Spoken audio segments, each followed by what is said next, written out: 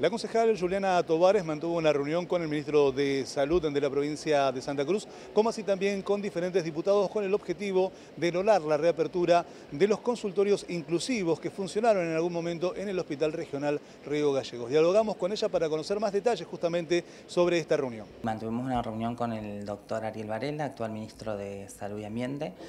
eh, era una promesa que teníamos desde campaña de poder lograr de que comience a funcionar nuevamente el consultorio porque en la gestión anterior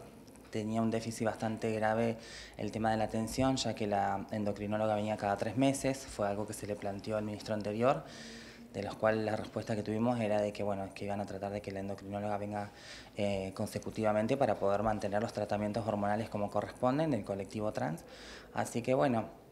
eh, debido a que no se cumplió al 100% esto, entonces bueno, es ahora que el ministro le dimos un tiempito para que se acomode y bueno, y que nos pueda escuchar más que nada las necesidades y por ahí las herramientas que, que necesitan para que un consultorio inclusivo funcione de la manera correcta, para que podamos tener la atención, ya que la salud es primordial en cada ser humano, así que agradecidísima al doctor Ariel por estar siempre eh, acompañando al colectivo, bueno, al espacio SER que, me brindó el espacio, valga la redundancia, de poder estar hoy acá sentada, gracias a la gente que confió en mí. Y bueno, básicamente yo me aboco más a lo que es el colectivo, obviamente, eh, por vivirlo en carne propia, en primera persona. Así que bueno, este, tratando de que todo esto se pueda llevar adelante de manera correcta, que sea una atención eh,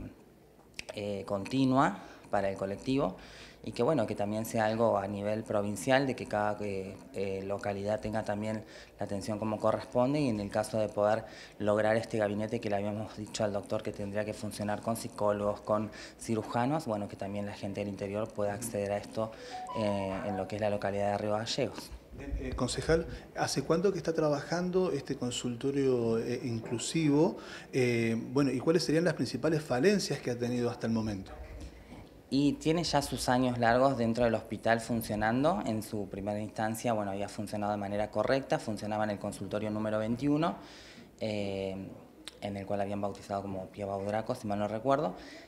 La atención en sí estaba perfecta, había psicólogos, había endocrinólogos, había cirujanos, que bueno, varias de las chicas pudieron acceder, pero el tema fue que, bueno, políticamente hablando, aparentemente hubieron unos desacuerdos y bueno, eso como que se terminó. Eh, después de ahí quisieron abrir en el Peliche, en el cual tampoco se logró que funcionara correctamente, directamente no funcionó. Y en eso es donde pedimos nosotros que, bueno, que necesitábamos el consultorio inclusivo, entonces se vuelve a hacer la atención en el hospital. Eh, la endocrinóloga venía comúnmente cada tres meses, después logramos de que viniera una vez al mes, los fines de semana, entonces nos hacía las atenciones los sábados, los domingos por la mañana. Eh, también le habíamos planteado al doctor esto de que hay médicos de la ciudad de Río Gallegos que quieren también participar de esto del consultorio inclusivo, que se quieren capacitar en cuerpos trans para poder brindar la atención diaria, por así decirlo también, ya sea en el hospital o en los, en los, en los SIC.